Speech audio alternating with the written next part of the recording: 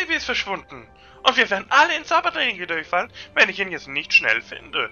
Zum Glück äh, unterstützt mich Chiara, aber die wird auch durchfallen, wenn wir Barnaby jetzt nicht finden. Das wäre schon doof. Äh, ba ba Barnaby, bist du hier irgendwo? Äh, habe ich ja gerade schon vorgesehen. Barnaby? Hier ist er nicht. Das bedeutet aber nicht, dass er hier nicht vorbeigekommen ist. Wenn wir ihn nicht bald finden, werden wir in Zaubertränke durchfallen. Lass uns den Bereich absuchen, vielleicht finden wir irgendetwas. Was ist das denn? Klumpummelsaft? Die Krawatte von Barnaby? Läuft da echt so eine Krawatte rum, oder was?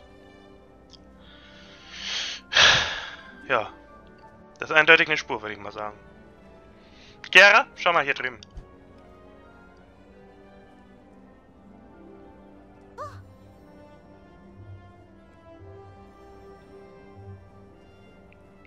Das ist Barnabys Krawatte. Ja, denke ich auch. Und sie liegt in einer Pfütze. Ich frage mich, was hier passiert ist. Hier gibt es bestimmt irgendwo einen Hinweis. Wir sollten uns die Pfütze etwas genauer ansehen. Also. Ja, schauen wir uns mal die Pfütze an. Oh, und da ist ein Wichtel. Gut. Eine Prise davon verleiht mir einen Energieschub. Das sieht nicht nach Wasser aus. Diese Substanz ist zähflüssig. Vielleicht ist es ein Zaubertrank. So langsam glaube ich, dass diese Pfütze ein Zaubertrank ist. Bei genauerem Hinsehen scheint es sich nicht um Wasser zu handeln, sondern um einen Zaubertrank. Ist diese Pfütze etwa ein Zaubertrank? Ich kriege einen Hauch von Wolfswurz. Vielleicht hat Barnaby seine Krawatte verloren, weil hier gekämpft wurde. Barnaby trägt seine Krawatte immer ziemlich locker. Sie könnte auch einfach runtergefallen sein. Diese Pfütze könnte der Schlüssel dazu sein, Barnaby zu finden. Das scheint keine gewöhnliche Pfütze zu sein. Die Flüssigkeit in dieser Pfütze hat einen blau-grünen Farbton. Hm.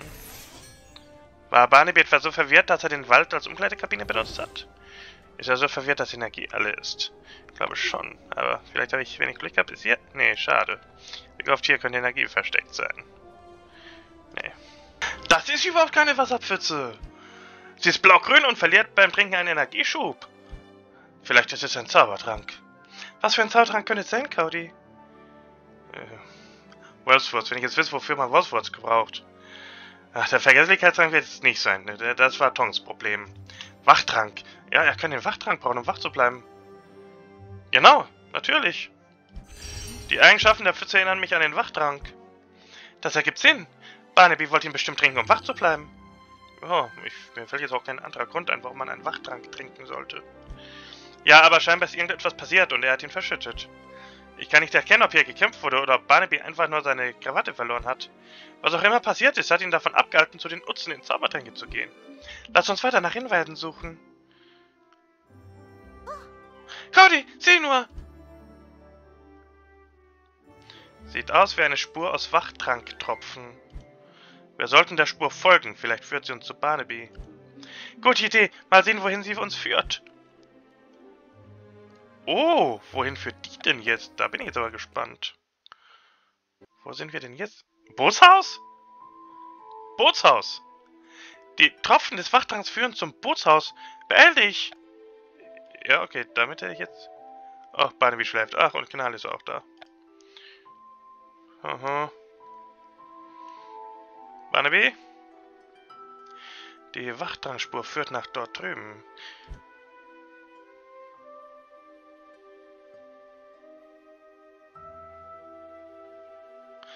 Barnaby! Wir haben es geschafft! Wir haben ihn gefunden! Barnaby, wach auf! Wir müssen los!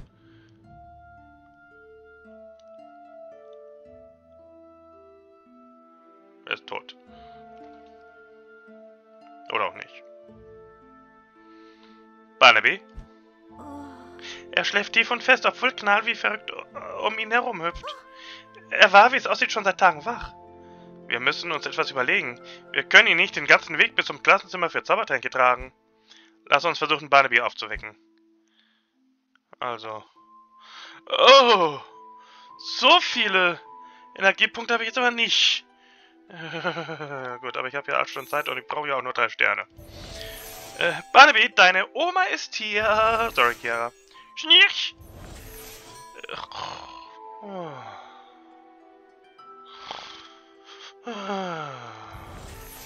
Barnaby, wir haben einen Eimer voller Süßigkeiten für dich. Vielleicht hilft uns hier ein Zauber weiter. Barnaby, wach auf, oder du wirst in Zaubertränke durchfallen. Es ist zwecklos. Barnaby schläft so tief, dass wir fast Lauteres brauchen als unsere Stimmen. Gibt es einen Zauber, der Geräusche verstärkt?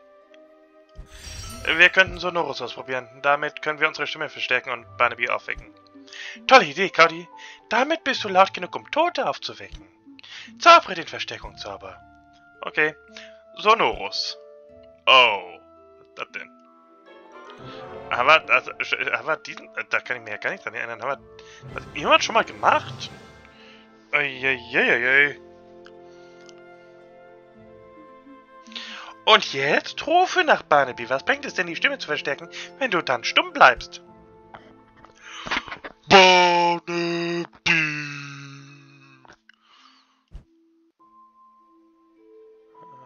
Geklappt?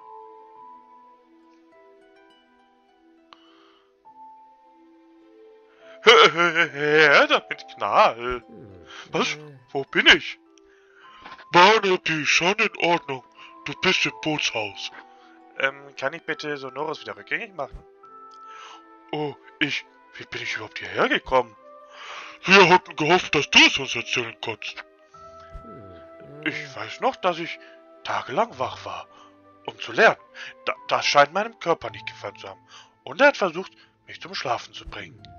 Aber ich wusste, dass ich bestimmt eine Prüfung verpasse, wenn ich einschlafe. Darum habe ich einen Wachtrank getrunken. Dann war es also wirklich ein Wachtrank.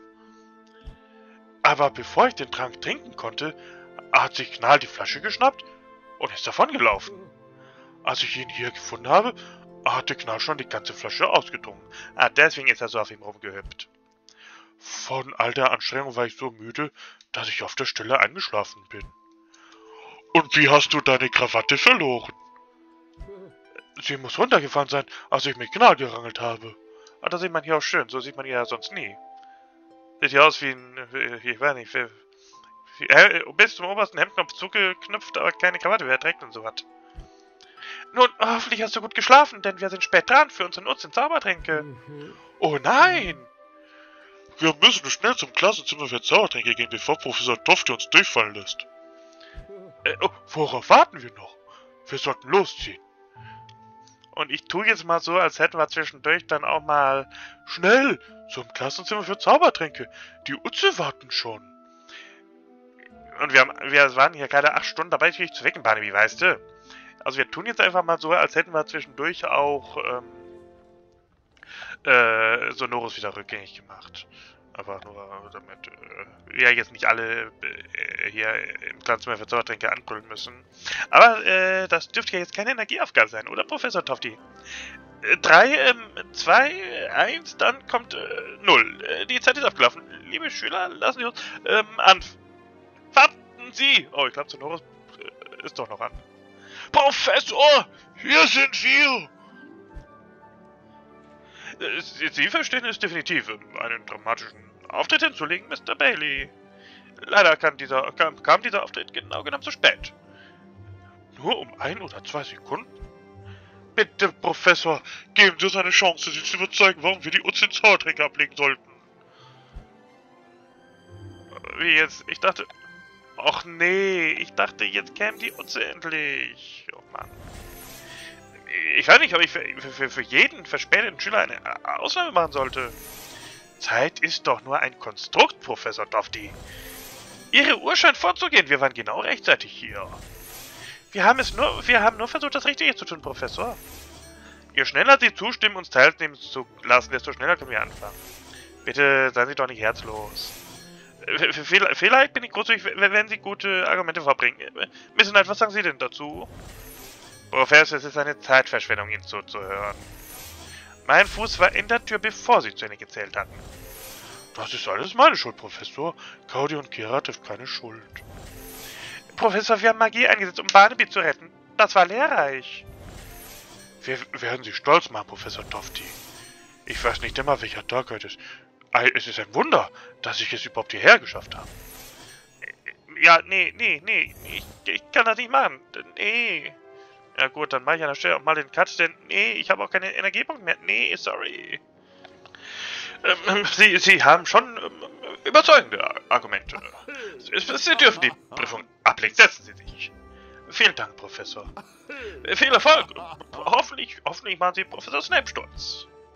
Ja, schauen wir mal. Können wir jetzt endlich die Prüfung ablegen. Be beginnen wir mit einer schriftlichen Prüfung, äh, um Ihr Wissen zu Wirkungen, äh, Fakten und Rezepten von Zaubertränken auf die Probe zu stellen. Greifen Sie zu Ihren Schreibfedern. Wir fangen an. Okay, ja, und so sieht das dann aus, wenn wir uns unsere äh, Uzi in Zaubertränke machen. Ich werde sorgfältig über die nächsten Fragen nachdenken müssen. Welche Farbe nimmt der Trank der lebenden Ton an, wenn er zur Hälfte gebraut ist? Das war was mit Lila. Blasslila? Oh nein, ich will jetzt keinen Ärger mit Snape bekommen, wenn ich ausgerechnet in Zaubertränke... Ich, ich darf doch nie in Zaubertränke durchfallen. Äh, Dunkel Türkis und Middernacht Schwarz hört sich auch gut an. Ich glaube, es war was mit Lila. Haha, es war Lila. Oh, danke, danke, danke. Ah ja, es gilt wieder, natürlich wieder dasselbe wie in Körderkunde. Pausiert das Video und überlegt selbst. Ja, gut. Welcher Trank bewirkt, dass jeder, der ihn einatmet, qualvoll erstickt? Ähm, ich habe doch mal Garottengas gegen Ragpick eingesetzt, aber ich weiß nicht mehr, was das war. Ich weiß nur, dass es eine Waffe war. Ansonsten Würgeband und erdrückender Rauch. Klingt natürlich beides nach qualvollem Ersticken, aber was das oder sind das Finten? Sollen die mich auf eine falsche Fährte locken? Und es ist das Garottengas? Was war denn die Wirkung von Garottengas? Ich will natürlich auch nicht googeln. Ich, ich will hier ja ehrlich die Utze ablegen, aber kann mich jetzt auch nicht erinnern, dass ich Würgeband oder erdrückender Rauch schon mal gehört hätte. Deswegen gehe ich aufs Garottengas. Ja, es war das Garottengas. Oh, danke, danke, danke, danke, danke, danke. Ja, eieiei. Sind schon schwere Fragen hier. Ja.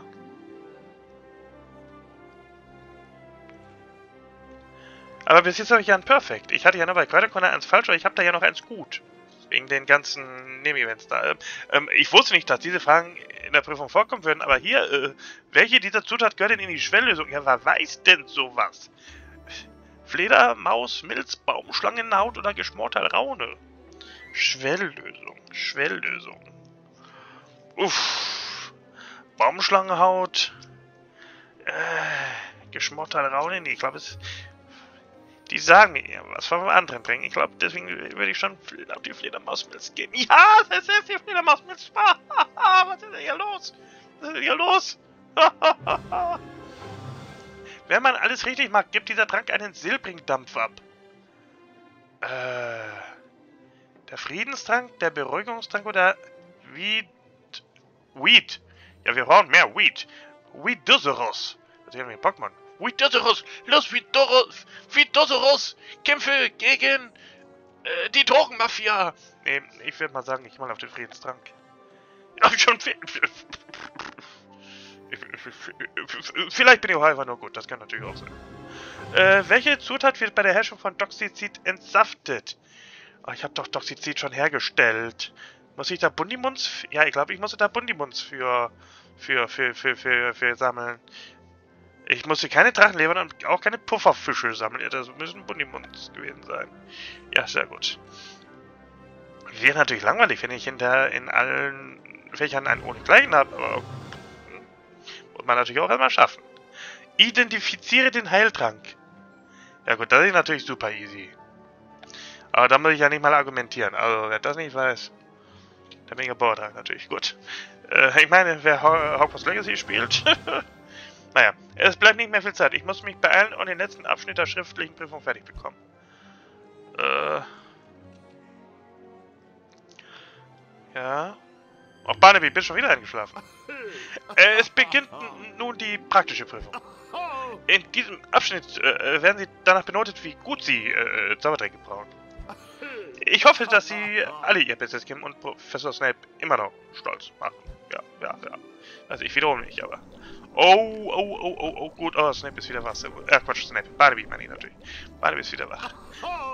Jetzt ähm, sollten Sie Ihren äh, äh, Hustentrank fertigstellen. Machen Sie keinen Fehler. Dieser Zaubertrank muss perfekt ausgeführt werden. Oh. Wenn ich jetzt bei einer von den Übungen hier verkacke. Aber ich habe hier immer noch einen gut. Einen habe ich ja immer noch gut. Weil ich Barnaby bei äh, seiner Präsentationsprüfung geholfen habe. Also, ähm, stoßen Sie jetzt äh, die Zutaten für die Funkenlösung. Das heißt, ich kann, immer, ich kann mir immer noch einen Ausrutscher erlauben. Ich habe bis jetzt alles richtig.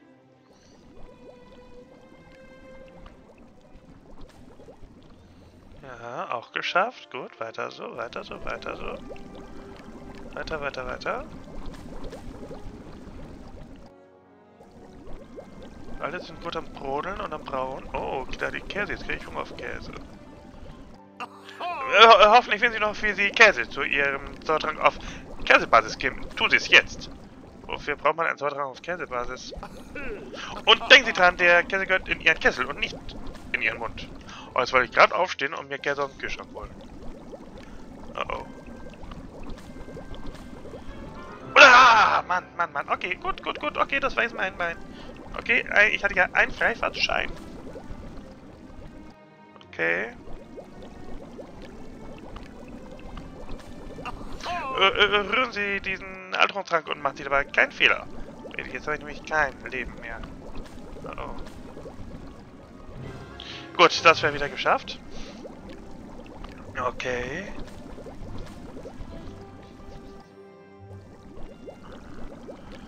Ja, das ist... Ja, okay, gut, weiter. Lassen, lassen Sie uns jetzt den Rest der ähm, praktischen Prüfung äh, angehen. Ja. Was muss ich jetzt noch machen? Spannung. Äh, da, damit ist der Ozean äh, Zaubertränke abgeschlossen. Sie, Sie können jetzt wieder durchatmen. Danke.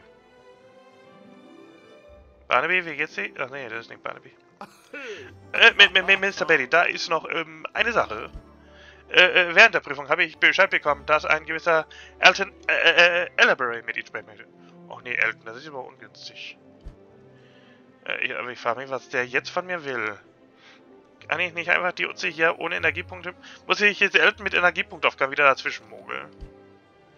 Ich, ich kenne diesen Elton Elderberry nicht, darum kann, kann, kann, kann ich keine Vermutung dazu anstellen. Vielen Dank, Professor. Ich werde mal bei Elton vorbeischauen. Was? Aber doch nicht im Ministerium. Geh vor deiner nächsten Prüfung schnell hin zur Bahamissee.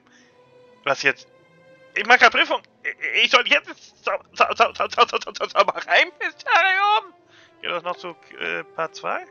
Geht tatsächlich noch zu Teil Part 2. Na gut, dann muss ich mal gerade cutten. Hallo Mr. Elderberry, ich bin gerade dabei, meine Prüfung abzulegen. Was wollen Sie denn jetzt von mir? Also, ich habe gehört, dass Sie mich sehen wollten, Elton. Ah, Mr. Bailey. Herbert Chisworthy, der Dritte und ich haben gerade über dich gesprochen. Herbert ist überzeugt, dass du bei den Nutzen hervorragend abschneiden wirst. Ja, wie war das denn jetzt? Äh, ich glaube, ich bin überall bei maximaler Punktzahl bislang. Ja, aber das ist ja nett von Herbert. Dafür ist es aber noch etwas früh. Ich habe ja nicht mal die Hälfte des zeitlich begrenzten Events geschafft. Bisher habe ich nur die Utze in Kräuterkunde und Zaubertränke abgelegt. Und welche dieser Prüfungen war schwieriger? Ähm, die schwierigeren Fragen waren bei Zaubertränke, würde ich sagen. Das geht nicht nur dir, so die Utze Zaubertränke haben schon viele Leute ins Stolpern gebracht. Aber hüte dich, die größte Herausforderungen stehen dir noch bevor. Wenn ich mich recht erinnere, wären die weiteren Utze nicht einfacher. Und wenn ich mich an etwas erinnere, das so lange zurückliegt, dann muss es stimmen. Danke für den Tipp, Elton. Und dafür bin ich hierher gekommen. Das war nicht mein einziger Tipp. Wenn du mir hilfst, Tee aufzusetzen, dann erzähle ich dir mehr über die Utzin-Verwandlung. Ah, das muss ich nicht wissen, ich will einfach hingehen und sie machen. Och nein, Elton, was ist das denn für ein Tee? Acht Stunden die Zeit. Möchten Sie etwas Honig oder Zucker? Welche Teemischung bevorzugen Sie? Ich lasse mein Wasser mal kochend heiß werden, bevor ich anfange. Professor Toft hat eine Frage, die er bei jedem Us in Verwandlung stellt. Ich kann mich nicht entscheiden zwischen Blutorangenkaramell und Ingwermarmelade. Wie ist die Frage, die er in jedem Us in Verwandlung stellt? Die Teezeit sollte ein Abenteuer für meine Geschmacksnerven sein. Elton hat wirklich ein Talent für interessante Geschmacksmischungen. Äh, hallo? Kanne. Die Kanne will nicht. Die Kanne muss ziehen. Ja, man hört was. Wenn ich drauf klicke. Weil hier irgendwie... Oh, nee. Ey, die kann... Kann auf die... Was? Äh, warum muss denn die Kanne jetzt so lange ziehen?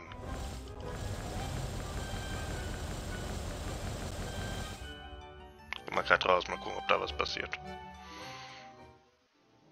Hervorragend. So. Dann gehe ich wieder rein. Wo war denn das? Hier war das, oder? Ja. Mal schauen, was jetzt passiert.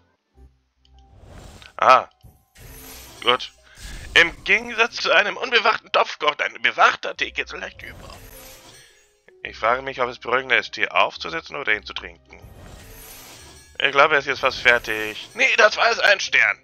Wenn man die Teeblätter zu lange ziehen lässt, entsteht ein bitterer Nachgeschmack. Absolut köstlich. Meine Geschmacksknospen sind verzückt. Ich wollte ihn nur genauso machen, wie Sie ihn mögen. Wie versprochen habe ich einen Hinweis für dich, was die in Verwandlung angeht. Professor Tofty stellt immer eine Frage zu einer von Professor McGonagalls Lieblingsverwandlungen. Aber ich weiß nicht, welche Verwandlung Professor McGonagall besonders mag. Ich muss doch jetzt wohl nicht extra noch zu McGonagall gehen und rausfinden, welche ihre Lieblingsverwandlung ist. Nun, dann solltest du es vielleicht herausfinden. Sie haben wirklich ein großes Interesse an den Utzenelten. Und sie cheaten, mehrfach Lösung vorsagen. Oh, ich behalte nur bestimmte Schüler im Auge, die besondere Talente zeigen. Und solche, an denen Herbert Shilsworthy der dritte Gefallen findet. Und du fällst zufälligerweise in beide Kategorien. Sowohl Sie als auch Olivia haben sich sehr für mich interessiert. Gibt es irgendetwas, das Sie beide mir verschweigen? Ich sag nur so viel. Die Utze sind der Schlüssel zu deiner Zukunft. Sehr geheimnisvoll. Jeder braucht so ein paar Geheimnisse im Leben. Aber ein Geheimnis, das du lüften kannst, ist die Frage nach Professor McGonagalls Lieblingsverwandlung. Danke, Elton. Ich werde sie mal sofort besuchen. Äh... Ich bin im Innenhof, wenn Sie mit mir sprechen möchten. Äh. Ja, gut. Wer Christopher McGonagall muss weiter warten. Jetzt will ich erst McGonagall treffen. Eieieiei. Oh, viel los hier. Der Ort in Verwandlung macht mir keine Sorgen. Donal ist völlig außer Rand und Band. Er laugt mich schon wieder total aus. Ja, er hat zu viel Wachtrank getrunken. Die Utze sind total aufregend, hoffentlich gehen sie niemals zu Ende. Ja, ich habe nur noch 48 Stunden Zeit. Hey, hey, hey, hey Professor. Elton Elderberry vom Subram-Museum zwingt mich zu cheaten. Uh. Hallo, Mr. Bailey. Heute ist einer meiner seltenen unterrichtsfreien Tage. Ja, wenn auch gerade die Prüfungskommission des Zaubereimuseums hier ist und die Prüfungen ablegt, müssen die Lehrer ja nichts machen. Es kommt nicht oft vor, dass ich die Schönheit von Hogwarts genießen kann. Falls Sie nach Ihren Freunden suchen, die sind da drüben und lernen für die Utze. Danke. Aber in Wirklichkeit bin ich hier, um mit Ihnen zu sprechen. Ich bereite mich auf die Prüfung vor und wollte Sie nach Ihren Lieblingsverwandlungszaubern fragen. Ja, was haben wir denn da für tolle Sachen? Professor McGonagall sieht außerhalb des Unterrichts richtig entspannt aus. Ich frage mich, worüber Cody wohl mit Professor McGonagall spricht. Ich wolle mehr unfaire Informationen. Ich hoffe, ihr stört Professor McGonagall nicht in ihrer Pause. Das wissen habe ich im Griff, nur mit dem Rest habe ich Probleme. Es fällt mir schwer, mich für einen Favoriten zu entscheiden. Sie unterrichten Verwandlung schon seit so vielen Jahren und haben bestimmt ihren Lieblingszauber. Ich bin nur hier im Innenhof, um mich von Knall zu erholen.